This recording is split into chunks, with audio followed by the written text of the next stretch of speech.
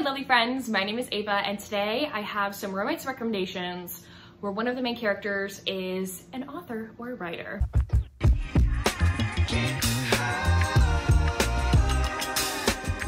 I love reading these romances so much because I love any books that incorporate writing or reading or books in them as a book lover myself. So I really appreciate these romances. The majority of these are contemporary romances and you also have, I think, I think I have a monster romance in here as well as a few historicals. So let's get started. The first one that I have is Isn't It Bromantic by Alyssa K. Adams. Literally, Vlad is writing on the cover. Vlad is our main character in here. This is also book four, I wanna say, in the Bromance Book Club series. Um, I read this one, it's kind of like a standalone. I've only read book one and then I jumped to book four and I was totally fine. Okay, so each book in the series is centered around a guy who's a part of the Bromance Book Club, which is a book club about like filled with guys who read romance books to learn more about women. Okay, so Vlad in here is actually married, but he does not live with his wife. He hasn't seen his wife in a while. His wife is his childhood best friend from Russia. They got in a marriage of convenience of sorts because Vlad got accepted to play hockey in America. He is a professional hockey player in America. Elena really wanted to go to school in America, so their parents like are like, how about y'all get married so she can basically get a student visa and like can get a green card to go to school in the US. They agree, they've been married for a little bit, but as he's spending more time in this book club, he's realizing, I want this relationship with my wife to be real. At the beginning of this book, he confronts Elena and is like, I want this to work, but at the same time, Elena tells him like, I want to go back to Russia. So how is that gonna work? Then Vlad gets injured in a hockey game and Elena is the only one that's really available to come take care of him while he is injured and basically bedridden in his home. Their forced proximity and the fact that they're living together um, definitely has them confronting their feelings and getting in some tension-filled moments. Vlad in this book is obviously reading a lot of romance books, but he actually wants to write one. So he's been trying to write one and like these are all of his notes that he has like around him like while writing his book and he is so cute and I love how passionate he is about writing and like literally I think one of his friends is starting to like poke fun at him and make fun of him for writing wanting to write a romance book and he's just like no like no shut your mouth this is what I'm passionate about and it's important. Stop being a misogynistic jerk. And yes, I love to see it, Vlad. A very, very chili pepper filled novella is Go Deep by Rylsly Adams. We have another main character in here who is a romance author.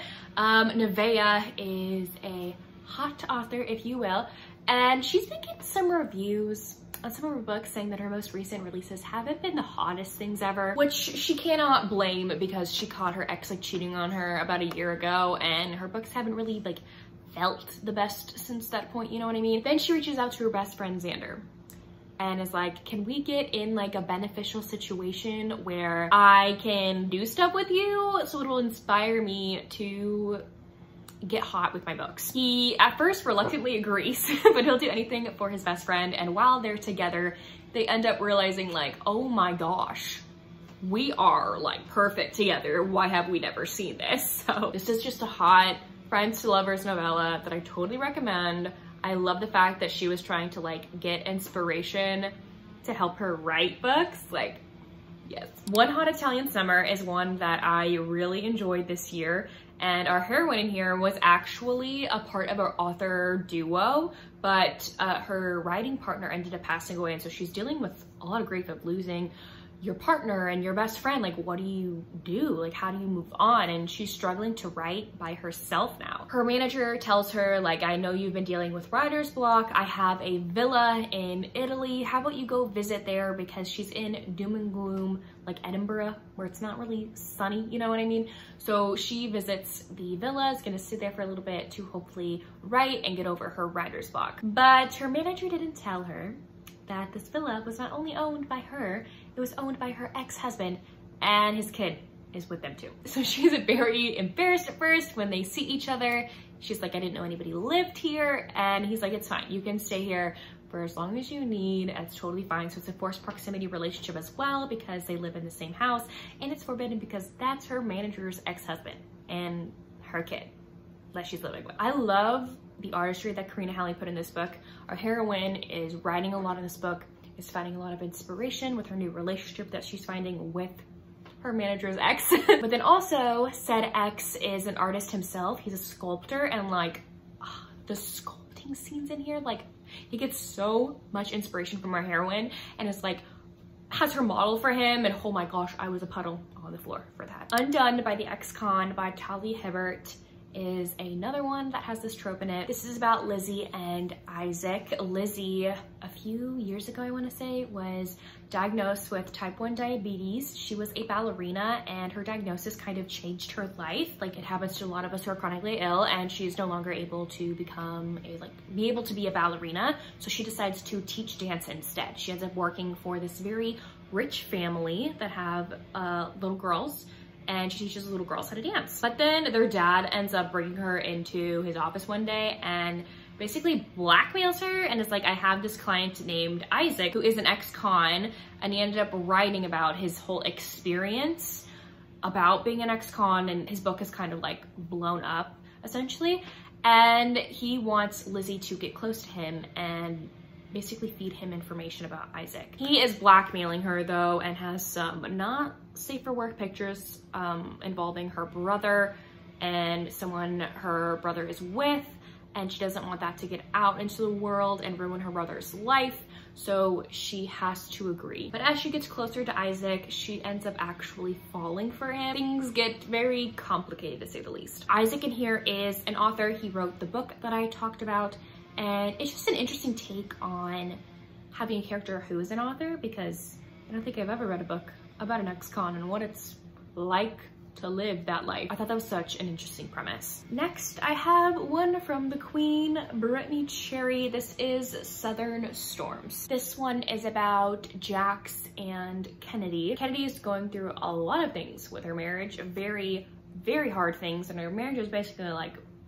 done, over with and she winds up on her estranged sister's doorstep asking for help. Her sister welcomes her in with open arms.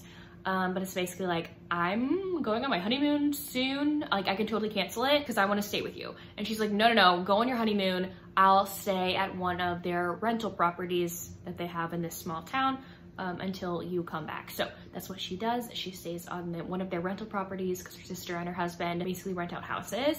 And there she meets Jax, who is her neighbor, lives in the same neighborhood as her. They don't get off on the right foot. He's very grumpy and takes it out on Kennedy. And then they realize that they know each other before. They actually were childhood best friends at summer camp. They haven't seen each other in years. But Jax doesn't really want to get to know Kennedy again because he's going through his own things in his life and doesn't need another distraction, or so he says. But he obviously cannot help himself. Kennedy here is our character who is an author. I think Brittainy has written a few characters, main characters that have romance author heroines and she does them so well because it's Brittainy Cherry. She just does them so well. Next, I have Glitterland by Alexis Hall. This was one of our Chronically Courageous Book Club picks in 2023. Brie and I really enjoyed reading this one together. Brie has read a lot of Alexis Hall books and she said that this is probably the darkest one he's written, so please be aware that. There's a lot of trigger warnings.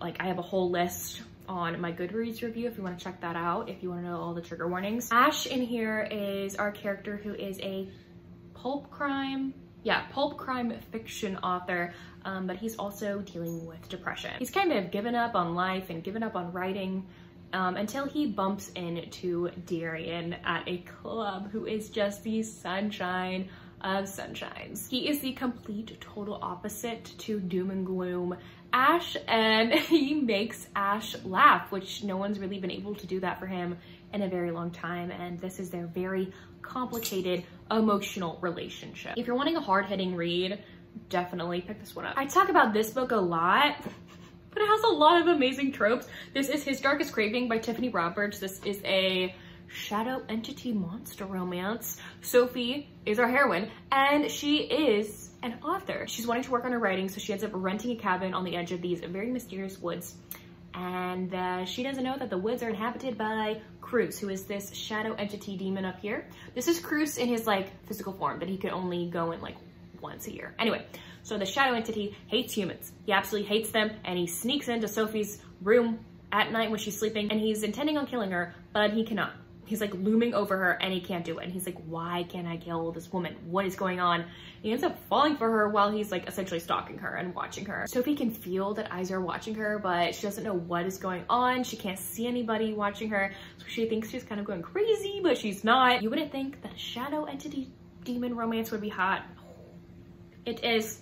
It is okay. Um, but yeah, Sophie in here is an author and I love that aspect in here so much. One of the top three favorite books of the year for me is Lady Ruthless by Scarlett Scott. Like, I love this book. And the writer aspect in here is so funny to me. Lady Callie is our author in here, and she believes that the hero of this book, Lord Sinclair, is at fault for her brother's death. So she ends up creating a persona, if you will, and starts writing articles in the newspaper as Lord Sin, telling everybody about his debauched acts and sinful ways. And it basically ruins the real Lord Sinclair and like ruins his reputation where no like high respecting lady will marry him. And he is pissed. He ends up tracking down who the author is, finds out it's Lady Callie and decides to kidnap her.